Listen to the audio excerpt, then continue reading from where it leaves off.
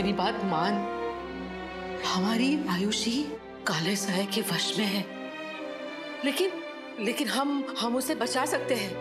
आज रात वक्त बहुत कम है। हमें बस करो बाप, बस करो।